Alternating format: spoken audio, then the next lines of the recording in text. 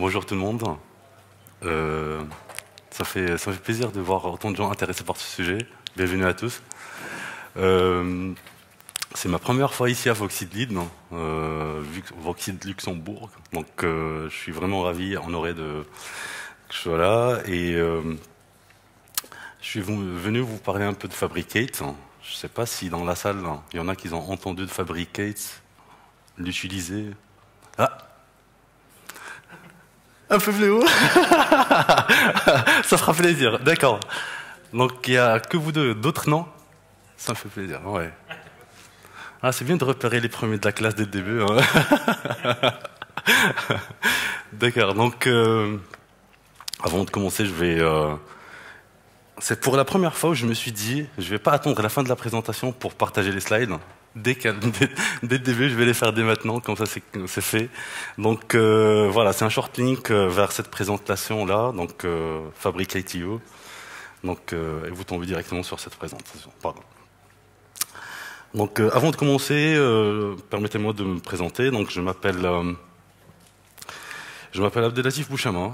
Euh, je suis senior middleware ingénieur chez Red Hat. Je suis un peu un touche à tout. Je touche à Camel, Fabricate, Jenkins X, tout, tout, tout. Et, et euh, euh, je suis aussi membre de Divox Maroc en tant que CFP lead. Donc, euh, si en novembre vous manquez de soleil, donc euh, vous avez juste à proposer des, des talks à Divox Maroc. Et voilà, donc euh, ici il y a toutes mes coordonnées dans Twitter ou LinkedIn. Donc si vous avez des questions, vous avez juste, euh, je répondrai avec plaisir. Novembre, c'est les talks ou c'est l'événement? C'est l'événement, euh, mais le CFP il est ouvert déjà. c'est pour ça, il faut être accepté pour aller en novembre et profiter du soleil. donc euh, je suis aussi membre de Red Hat Developer Programme. Donc c'est, je vais dire rap rapidement deux petits mots par rapport à Red Hat Developer. Donc euh, c'est tout simplement c'est un site où moi-même je contribue avec mes articles, des cheat sheets, des choses comme ça. Et euh, à quoi ça peut vous intéresser tout simplement, c'est que vous pouvez télécharger des binaires de Red Hat, des distributions de Red Hat comme euh, Red Hat Enterprise Linux, des Red Hat Fuse, Red Hat AmiQ. Vous pouvez les télécharger pour des fins de développement. Donc, et pour cela, il, suffit juste, rapide, juste créer un compte et c'est fait. Et pareil, euh, il y a aussi des bouquins qui sont gratuits pour euh, en téléchargement, en format PDF, format EPUB. Donc, euh, juste une inscription avec un compte gratuit, vous, avez accès à toutes ces ressources. J'aime bien toujours commencer ma présentation avec cette citation de Mark Andreessen. Je ne sais pas si vous le connaissez. Non? C'est le fondateur de Netscape, donc le Google des années 90. C'est lui qui a la fameuse citation de Software is eating the world, logiciel qui est en train de manger le monde. Donc moi je préfère plutôt cette citation. Cette citation dit tout simplement que toutes les entreprises de tout secteur doivent assumer qu'il y a une révolution logicielle est à venir. En gros, euh, pourquoi j'aime cette citation? Tout simplement parce que ça suffit pas qu'on crée des nouvelles architectures, des nouvelles architectures, des nouvelles méthodologies, si la mentalité derrière ne change pas aussi. On ne peut pas se contenter tout le temps de ce qu'on a en production. Parce que ce qui est en production, ça répond aux besoins du passé, sauf le besoin n'attend jamais. Le besoin évolue de jour en jour. Du coup, pour être compétitif, il faut vraiment aller de l'avant et adopter ces, nouvelles architectures, et surtout sans crainte. Et surtout, il faut s'armer des bons outils. Savoir vraiment s'armer des bons outils pour atteindre cet objectif-là.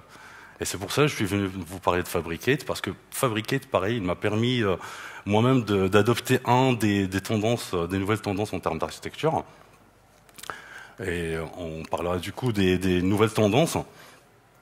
Donc on a le passage de web service aux API.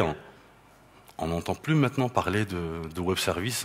C'est en voie de disparition.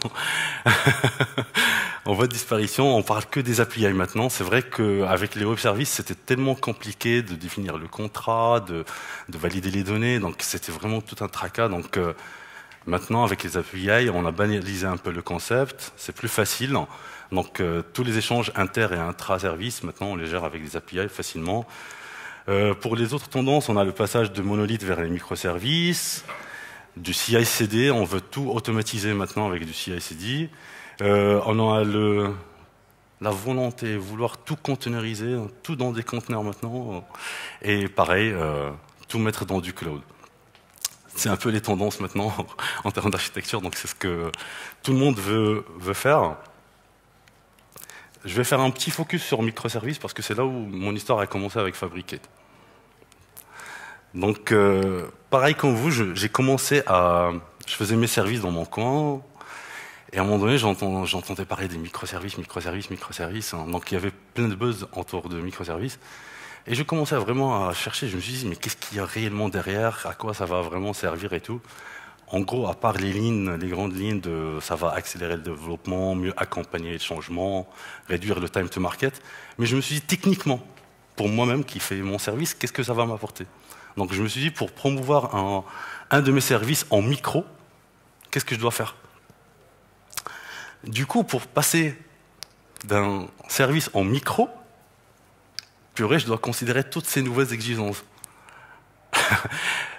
on est bien d'accord, on est passé d'un service à micro. Donc du coup, il faut vraiment considérer plein de contraintes maintenant, plein d'exigences. Et l'une des exigences, par exemple, c'est l'embarquer dans un conteneur. Euh, que le service doit être découvert par les autres, donc profiter de la discovery.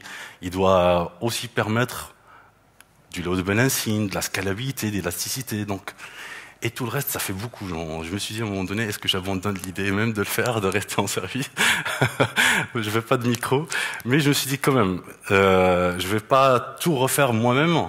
Je ne vais pas réinventer la roue. Je me suis dit, il y a certainement quelque chose qui peut m'aider en ça.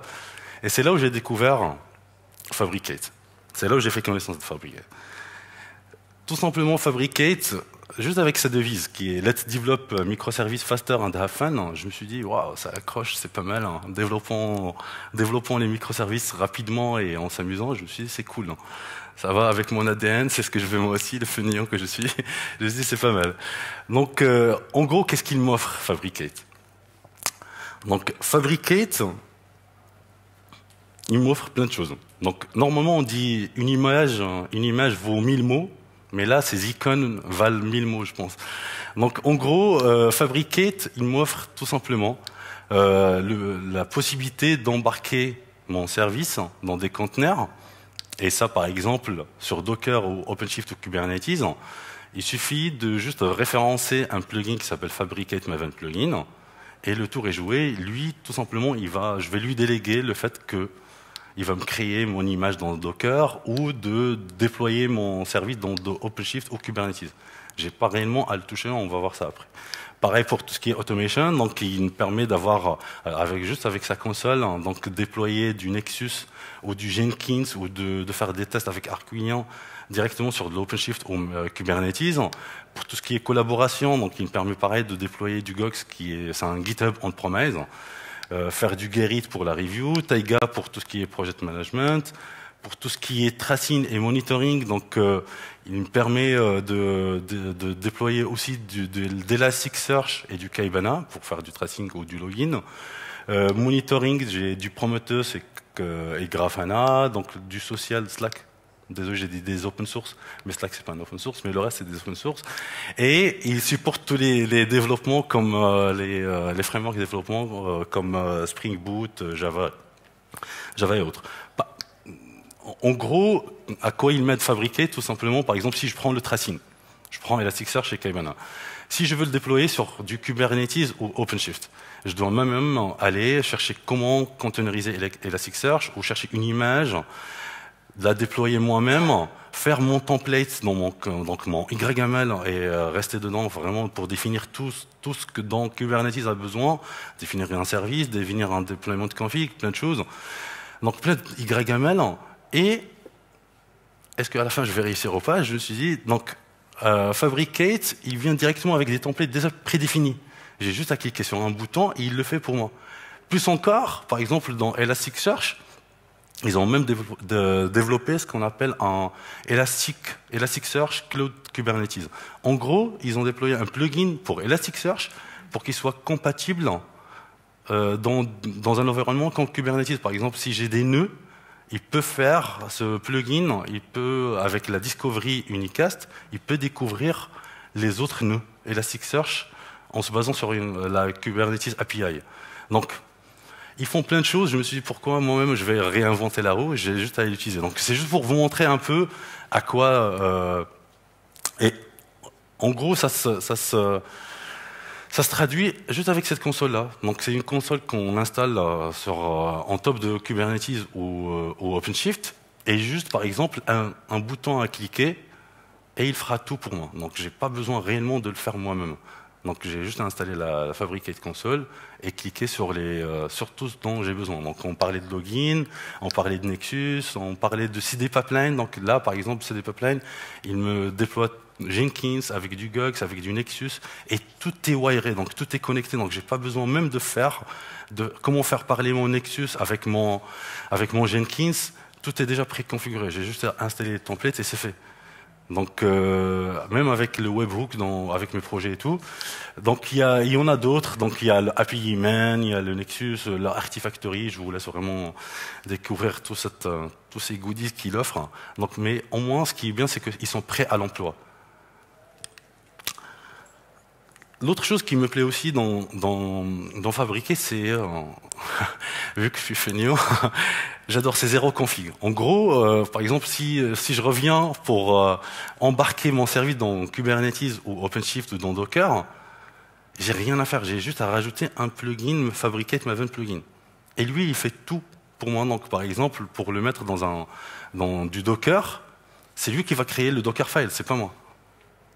Et lui, il fait ça avec juste une commande fabricate build et il le sait. Donc, par exemple, il va créer une image, la taguer et créer le Dockerfile euh, correspondant.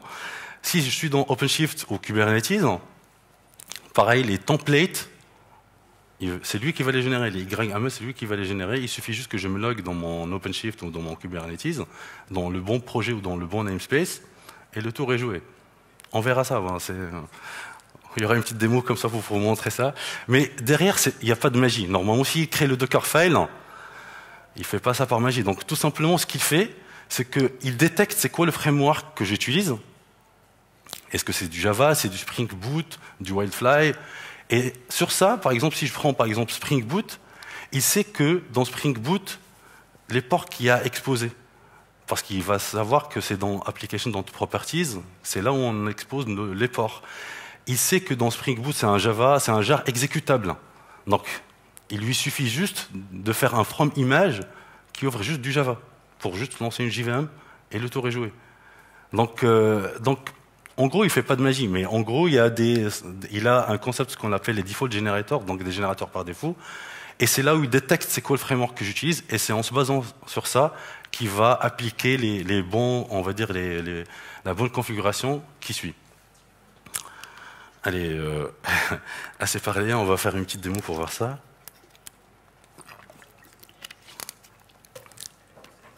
Donc euh, j'ai, euh, je vais agrandir un peu. J'ai un projet dans Spring Boot où je définis tout simplement deux flux. Je, définis juste une, j'expose une REST API. C'est du camel dans du Spring Boot. Donc j'expose une REST API qui fait getPersons, getPersonID, et après, tout simplement, quand j'invoque ce, cette API, elle me fait, elle me renvoie juste cette réponse-là. Vraiment un cas très très simple. Donc, le plus important, c'est ça, c'est dans le PUM.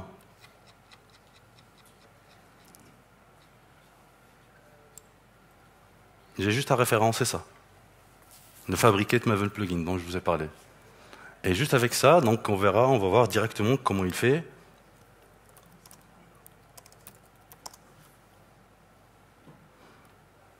Euh, je vais juste euh, builder le projet d'abord.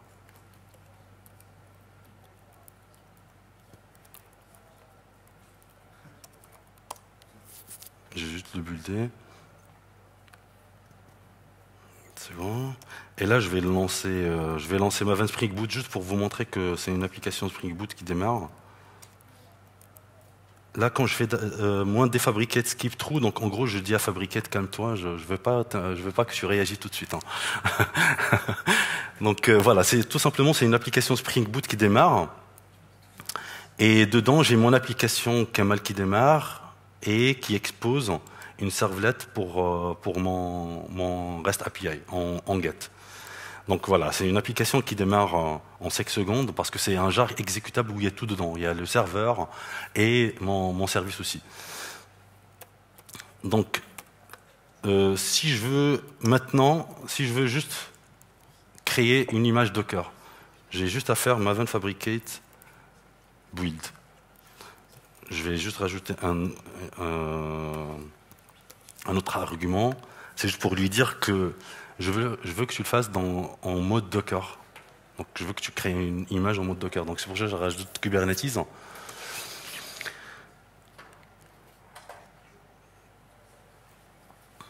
Donc là, ce qu'il a fait, donc euh, il a vu, il a compris que c'est un, un, projet Spring Boot. Donc du coup, il a appliqué le bon générateur qui va avec Spring Boot. Et après, puisqu'on a dit c'est du Spring Boot, donc c'est que du Java, il a euh, appliqué la bonne image Java qui va être dans le from du Dockerfile. Après, il a buildé l'image et il a même tagué. Elle est là. Donc j'ai rien à faire, j'ai juste à utiliser. Donc si je fais docker run moi, 80, euh, normalement je devrais tomber sur le même, le même output qu'on a vu tout à l'heure. Donc voilà, c'est la même chose. Donc j'arrête. Euh, je vais voir réellement qu'est-ce qu'il a fait. Est-ce qu'il a réellement généré le Dockerfile à ma place Donc euh, je rentre ici, donc dans les targets, je vais aller dans Docker, dans Temp, il y a le tar qu'il a créé, et dedans, j'ai bien mon Dockerfile. Donc le fabricate, donc from la fabricate, donc l'image. Là, oh, qu'est-ce que je fais Hop. Donc là, il, il définit quoi c'est dans le slash deployment, donc c'est là la, directory où il y a le jar. Il expose les ports, donc le port 8080 de Tomcat, 8078 donc de, management et un autre, je sais même pas à quoi il sert celui-là. Après, il copie le deployment dans Event. C'est quoi dans le deployment C'est ni plus ni moins, c'est le jar exécutable qui est généré. Donc l'image elle est construite de cette manière-là. Faisons un autre test. Donc là j'ai j'ai aussi un OpenShift, donc j'ai un cluster OpenShift qui est installé sur ma machine. Je l'ai fait avec euh, MiniShift. Donc c'est un OpenShift local que j'ai. Donc euh, je suis sur un projet qui s'appelle Voxidid ici. Donc je suis toujours sur le même projet. Donc ce que je vais faire, aucune configuration, je vais faire juste deploy et maven pardon, et fabricate log. En gros, qu'est-ce que je lui dis là? Je lui dis, tu me déploies dans mon instance OpenShift et tu me donnes directement les logs de l'application, euh, de, donc de mon service qui est déployé dans un conteneur qui est déployé dans un pod dans OpenShift. Donc il va faire tout ça pour moi.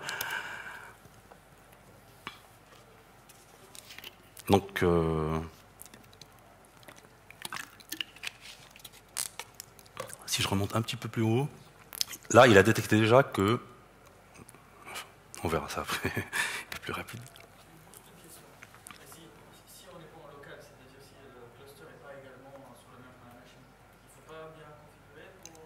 Il faut juste se loguer dans l'instance OpenShift dans le bon projet.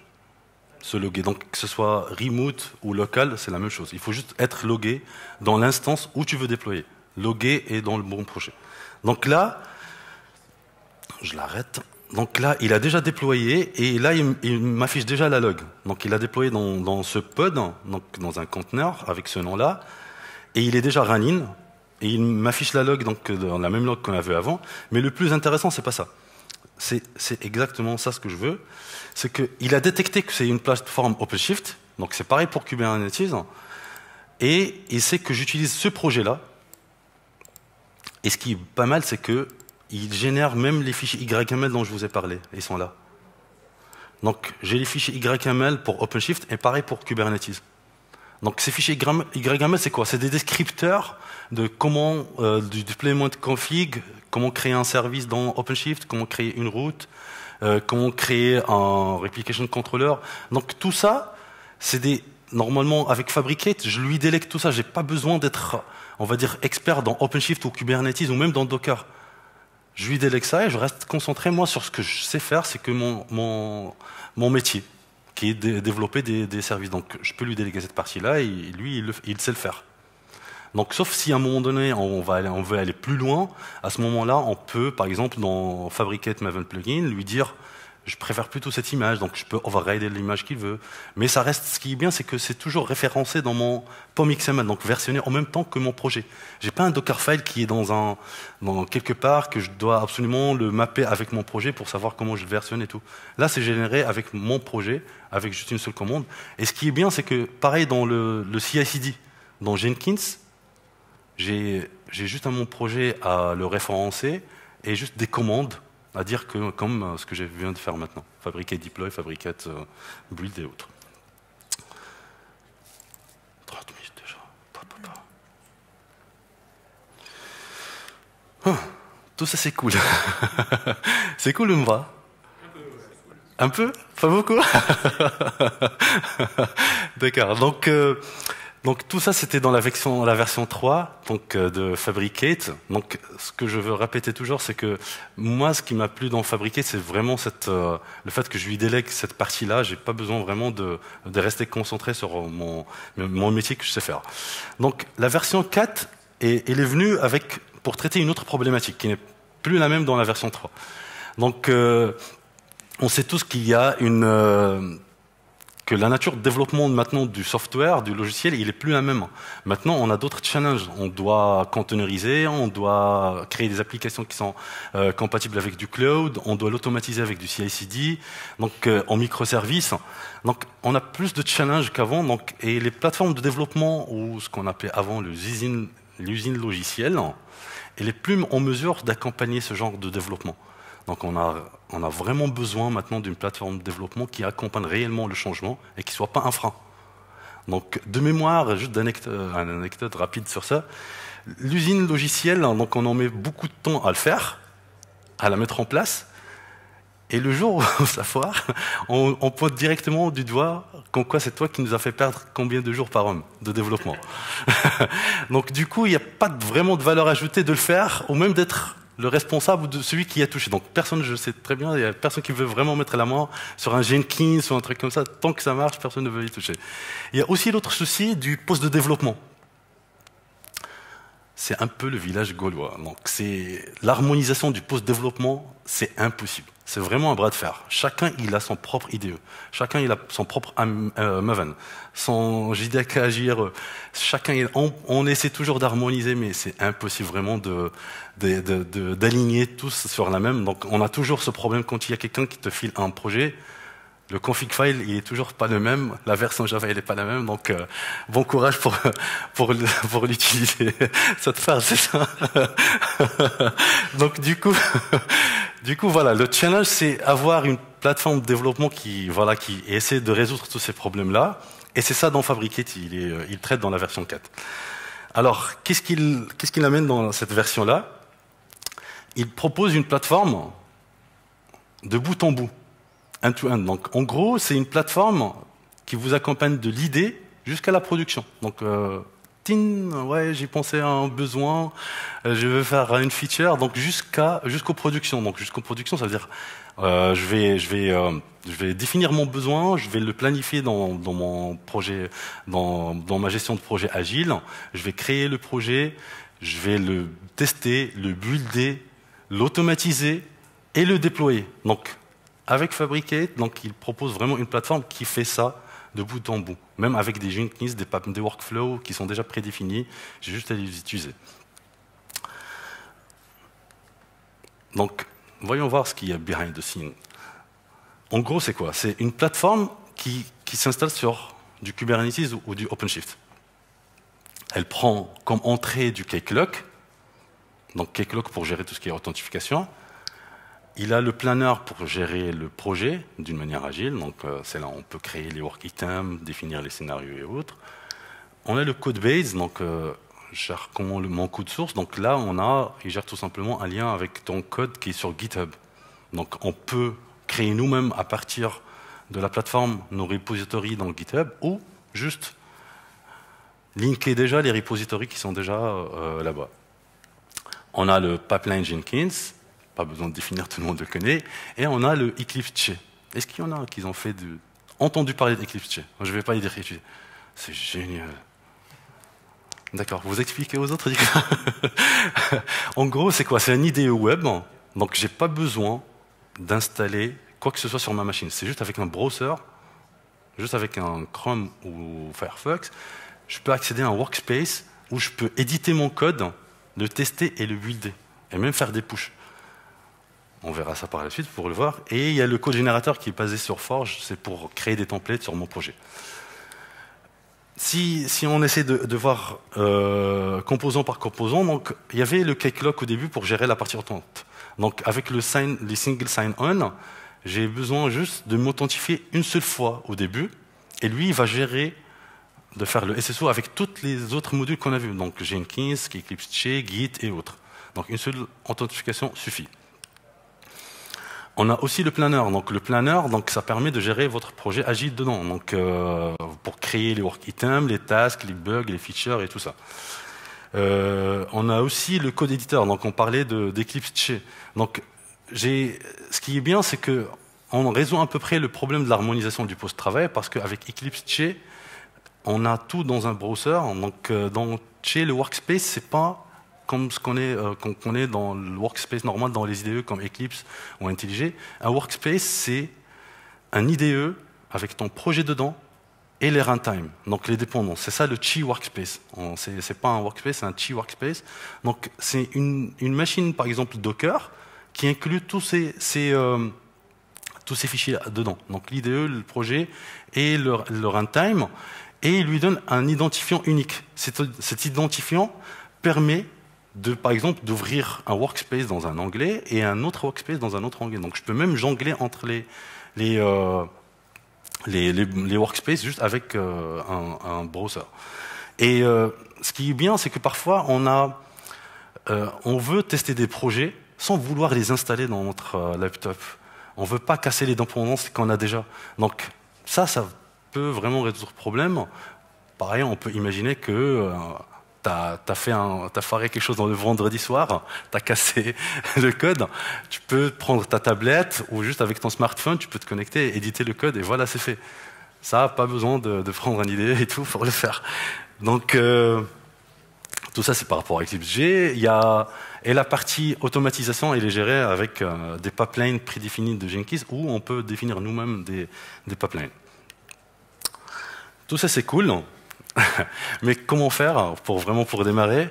Donc, euh, la, première, c'est euh, pour installer, euh, installer cette plateforme donc, dans l'OpenShift ou dans Kubernetes. Il n'y a qu'une seule commande pour le faire, ça s'appelle GoFabricate. Elle est là. Donc, on télécharge ce binaire et on a juste cette commande à faire.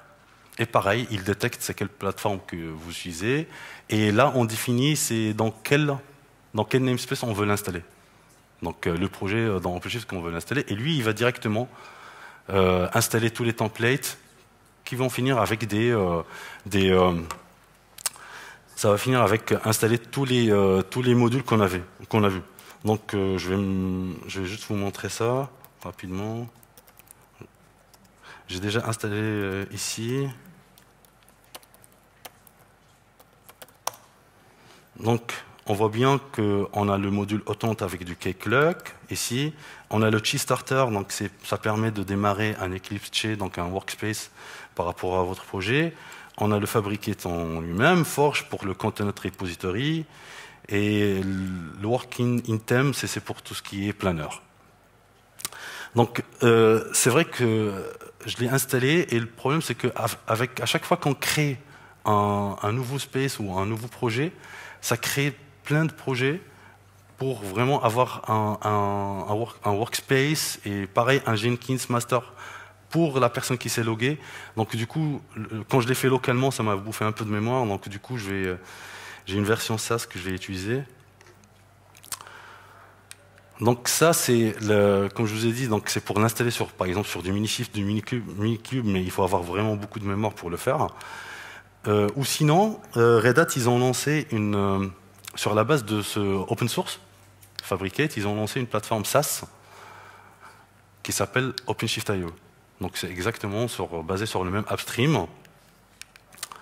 Et là, c'est plus facile pour commencer. Donc il suffit juste de s'inscrire et vous serez dans la liste d'attente. Donc une fois qu'il y a plus de ressources qui sont libérées, à ce moment-là, vous aurez accès. Vous pouvez vraiment faire tout ce que je vais vous montrer après. Ok. Donc le, projet que où j'ai mis, euh, j'ai déployé le projet dans, OpenShift où je l'ai dockerisé et tout. je l'ai dans mon GitHub, donc ça s'appelle Kamal Fabriqué de Voxudlu.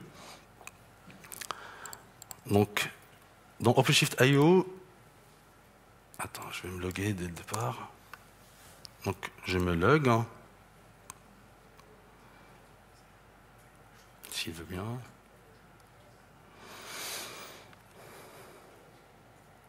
C'est un peu long. Donc, et je commence toujours par créer un espace. Donc un espace où je vais mettre mon projet.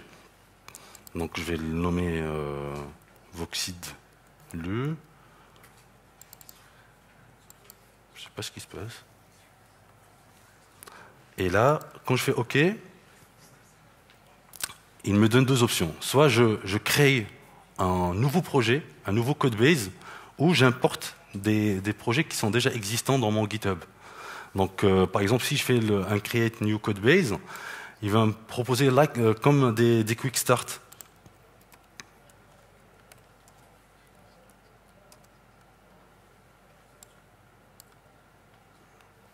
Donc voilà, il me lance un, launcher, il me dit c'est avec quel runtime tu veux, tu veux partir et euh, quelle mission, en gros quel exemple vous voulez partir avec. Donc euh, ça, c'est si vous voulez commencer from scratch avec une nouvelle application. Si, euh, votre application elle, est euh, sur du Vertix ou Spring Boot ou autre. Sinon, ce qui, est pas mal aussi, c'est que démarrer directement d'un projet qu'on a déjà prédéfini. Donc, et pour cela, je fais add code base, c'est la même chose. Et là, je lui dis, tu m'importes le projet de mon, de mon GitHub directement, donc celui-là. Donc pareil, là, puisque c'est, euh, j'ai le lien avec GitHub, donc euh, le fait que je me suis authentifié la première fois, donc c'est le m'a qui m'a directement euh, fait mon authentification au, niveau GitHub. Donc là, je fais, je prends celui-là, et là, il me directement, il me propose déjà des pipelines qui sont prédéfinis. Donc des pipelines Jenkins. Donc je peux prendre par exemple celui-là qui permet de, builder mon projet et directement le mettre dans du staging. Et si je suis content avec mon staging dans ma qualification, je vais juste l'approuver et il va passer en production. Donc là, euh, j'ai tout fait, j'ai juste à importer. S'il veut bien. D'accord c'est bien. Donc là, ce qu'on voit ici, il est en train de créer un projet OpenShift avec ça. Il est en train déjà de builder un pipeline. Donc ce pipeline, c'est ni plus ni moins. Vous allez voir ici qu'il va rajouter un Jenkins file. Il a fait un commit dans mon Git. La, connexion un petit peu, il est terrible. Donc euh, si elle veut bien. Allez. Donc voilà, il y a un Jenkins file qui, qui, euh, qui, était créé et qui correspond au pipeline que j'ai choisi. Et euh, ce pipeline, il, est, il, est, généré par le Fabricate Pipeline Library. Donc, on peut voir aussi le, le, commit qui est fait. Donc, si je reviens, donc il a fait, euh, voilà, c'est one minute ago. Donc, il a fait un commit de ce Jenkins file. Et si je reviens ici, la troisième, c'est il configure aussi un trigger le trigger de build. Donc en gros, si je change mon code base, il doit encore relancer le pipeline. Et pour ça, il lui faut un webhook. Donc pareil, il vient, dans mon projet, il fait euh, directement la configuration du webhook. Donc là, j'ai un lien à mon Jenkins qui est déjà fait. Donc si je, je commit après, il saura qu'il doit lancer un autre, un autre build dans, dans Jenkins. Donc je lui dis View Application. Hein.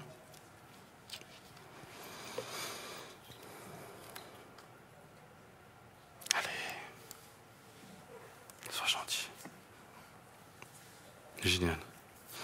Donc là, j'ai un dashboard. Donc, comme vous voyez là, donc, il y a trois onglets en haut. Donc, Analyze, Plan et Create. Donc, analyser, c'est donc euh, pour définir, on va dire, analyser les idées et les besoins que j'ai. Planifier, c'est donc dans la partie agile, donc pour créer une itération et assigner les, work items, donc comme les bugs, les features et les tasks et tout. Et donc créer, donc en gros, je vais créer mon application et je vais la déployer.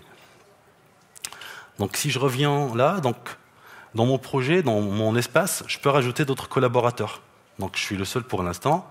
Je peux rajouter d'autres collaborateurs pour qu'ils participent au même projet. Donc je peux, par exemple, rajouter Pierre ou quelqu'un d'autre. Et si je reviens ici, donc je, peux commencer à, planifier, par exemple, mon itération. Donc dans planifier, donc je peux faire euh, une itération, test iteration, et je peux lui donner une date une date départ et une date de fin, et je crée mon, euh, mon itération. Et là, je peux créer des tâches ou des features. Donc, je peux dire par exemple implement get persons API.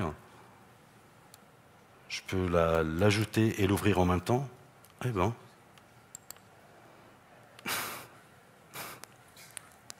C'est l'effet démo, c'est pas mal. S'il veut bien, allez. Allez, on va essayer une autre chose.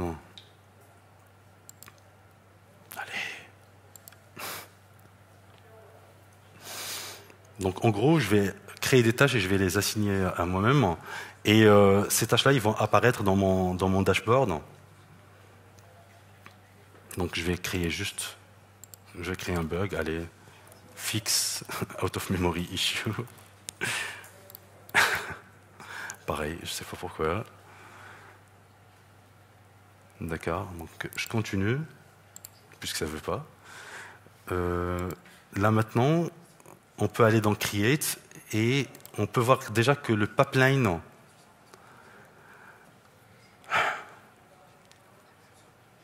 Voilà, le pipeline que j'ai défini, il est, le build, il a déjà commencé.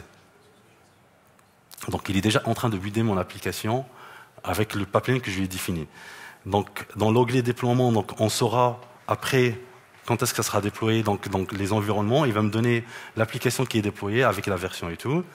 Et dans le code base, donc, comme je vous ai dit, il va créer mon, si je, fais create euh, workspace, il va créer mon, mon environnement Eclipse chez, donc mon workspace Eclipse chez, donc là, donc il va le créer et il va le démarrer directement. Donc, comme je vous ai dit tout à l'heure, il, donne un ID unique, c'est cet ID-là dont je vous ai parlé.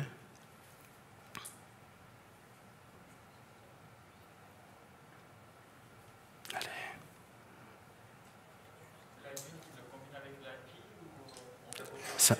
C'est un ID qui est généré automatiquement euh, par, euh, par Eclipse euh, il le crée là sur, dans OpenShift ou dans Kubernetes directement. C'est fait, automatiquement. Ah là, ça commence à se déconnecter, donc je pense qu'il y a un problème vraiment au niveau du Wi-Fi. Allez. D'accord, génial. Donc là, on voit très bien en haut qu'il est en train de créer le workspace. Et ce workspace, donc c'est ni plus, ni moins c'est qu'une image Docker. Oh.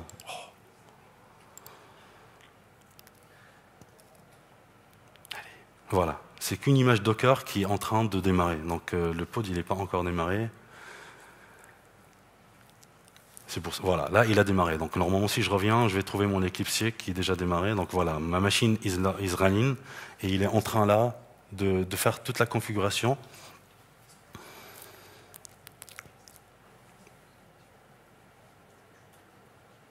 Voilà. Enfin, donc un workspace qui est démarré et qui est prêt à. Donc. Euh, enfin. Ok. Donc là, c'est ni plus ni moins qui mon projet qui est dans Git. Et du coup, je peux l'éditer, je peux faire ce que je veux ici.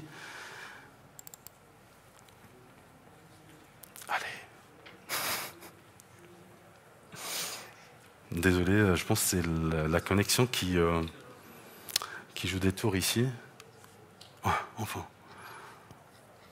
Donc euh, là, déjà, à l'ouverture, il, me déjà, il fait un, peu l'analyse de mon projet, et il me dit déjà qu'il y a une dépendance ici où il y a un risque de, une vulnérabilité en termes de sécurité.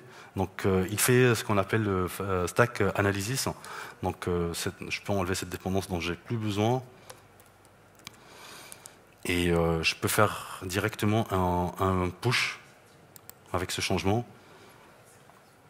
dans mon Git. Update pump.xml remove logback dependency. Dependency. Oh. je reviens juste ici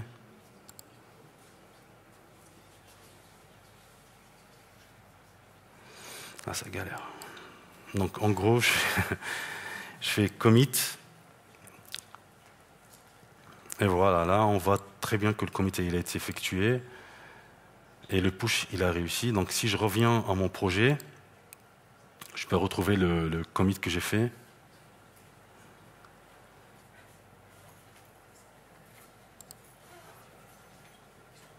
Donc voilà le, le commit que je viens de faire dans Eclipse. Et tout ça, comme je vous ai dit, j'ai accès que d'un browser à mon, workspace. Je peux même avoir l'accès au terminal donc, euh, pour, faire, pour faire même des builds.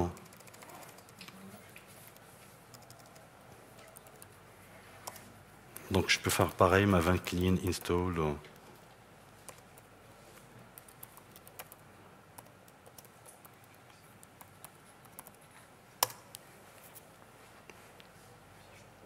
Donc voilà. Donc je teste, je build tout dans, juste à partir d'un browser. Je n'ai pas besoin réellement de faire quoi que ce soit sur ma machine.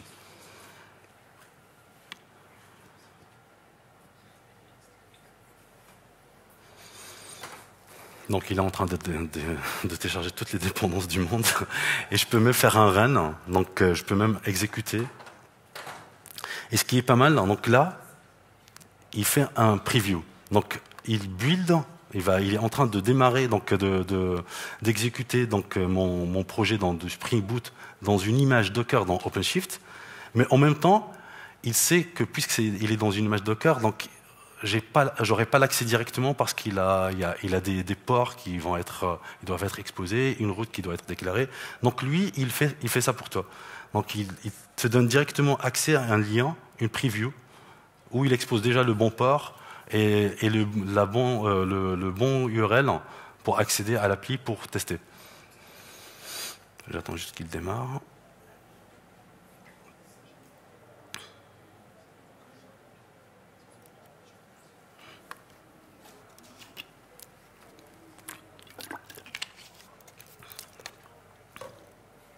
Désolé si c'est un peu petit. Je reviens juste regarder le pipeline où il en est. Ça va, on est au build. C'est déjà pas. donc là, l'application est démarrée. Donc pour la tester, j'ai juste à cliquer sur ce lien. Et je peux tester mon, API. Donc, euh, je peux, invoquer le, REST API que j'ai, euh, qui, euh, qui est exposé. Donc je fais Pierre. Voilà. Là, j'ai invoqué mon REST API, donc je l'ai testé euh, directement dans le web. Je n'ai pas besoin réellement de faire quoi que ce soit en local. Allez, sois gentil. Ah, génial. Donc là, euh, puisqu'il était basé sur la version où il y avait la dépendance, il a, fait aussi le, lien. Il a trouvé que dans le build, sur la, base du PUM que j'avais, il y avait des vulnérabilités. Et il dit tout simplement, là, donc il l'a déployé en staging, et là il me demande est-ce que j'approuve pour aller en production? Sauf que je ne peux pas aller avec un risque de sécurité et des vulnérabilités comme ça. Donc si je pars dans le déploiement, donc il a, il a déployé dans le staging, mais c'est une version qui est foireuse, donc je ne peux, je peux pas la tester, je ne peux rien faire. Donc normalement, là je lui dis abort, n'y va pas à la production. Je ne fais pas promote, je lui dis abort. On s'arrête là. Donc, et, je reviens, donc je peux aller voir le stack report. Et là, il me dit voilà. Il a fait l'analyse, il a trouvé que dans la dépendance logback, c'est parti où là? C'est un peu lent, c'est pour ça.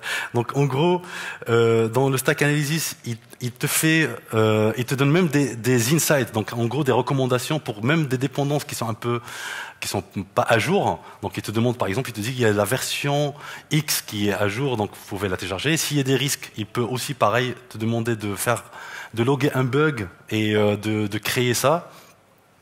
Et là, si le fait qu'il lance un nouveau pipeline, parce que j'ai fait un nouveau commit. Donc euh, il va maintenant faire un deuxième build sur la base du nouveau, euh, du nouveau commit que j'ai fait euh, tout à l'heure dans Eclipse IDE.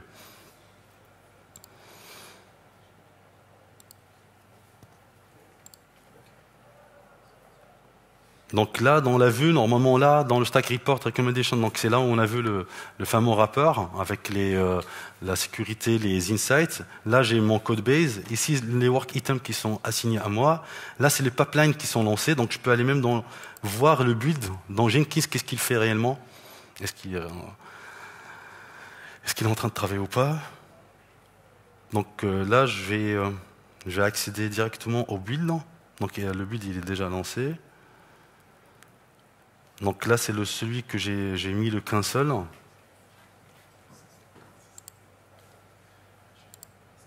je peux aller dans Jenkins direct.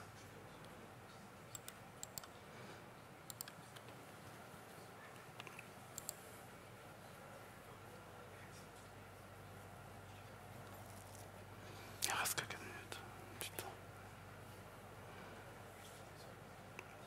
Donc là, j'accède. Donc on voit le build d'ici qui est déjà lancé. On peut accéder. Donc il a déjà créé un Jenkins slave euh, pour le projet. Et le build il est en train maintenant de se lancer. Et je peux, aller voir. Là voilà, il est à la, euh, au build. Et console output. Ah. Donc là, on peut voir réellement ce qu'il fait derrière. Donc il commence euh, créer une branche pour la version. Donc on a vu que c'était la version 1.01. Là, il va créer une nouvelle branche 1.02. Il est où, il est où? On voit là bien qu'il crée une nouvelle branche. Voilà, avec le 1.02.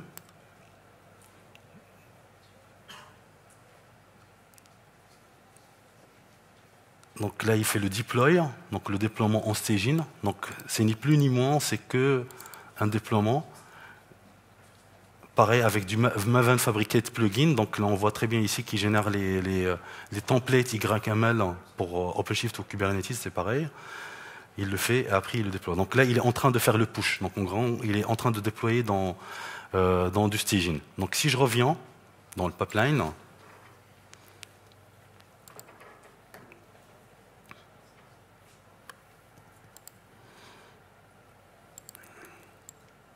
libérer un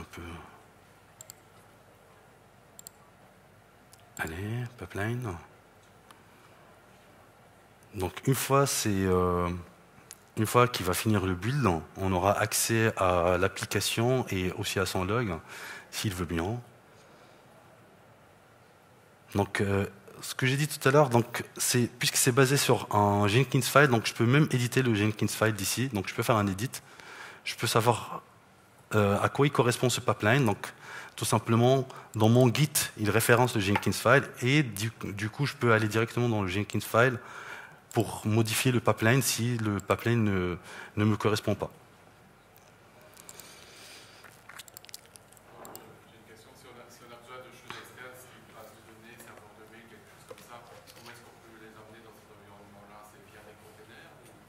Euh, par exemple, vous avez des applications qui ont des dépendances de ce sort, c'est ça? Donc, soit euh, un accès, euh, si, vous avez, si vous les avez dans votre OpenShift, donc ça va être un accès via service, parce qu'il y a le service qui permet de prendre une abstraction sur euh, les conteneurs, parce que les conteneurs, ils sont éphémères. Donc on ne peut jamais avoir un accès direct, c'est déconseillé, parce qu'ils peuvent être euh, éphémères. Bon, ça veut dire en gros, le replication controller peut à chaque fois, s'il y a juste une probe qui passe pas, il peut les, killer, et du coup, ils vont, ils vont créer un autre conteneur. Donc ces conteneurs, donc normalement, tous ces conteneurs-là, ils sont référencés par un service, Et ce service-là qui a un, un, IP statique et euh, un hostname, un DNS que tu peux référer pour accéder.